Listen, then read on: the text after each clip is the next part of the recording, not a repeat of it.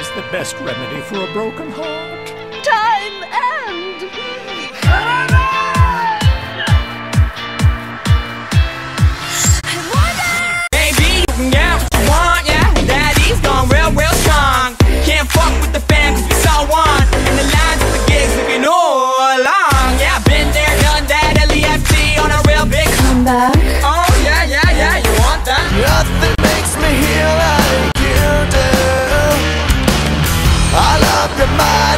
Heart,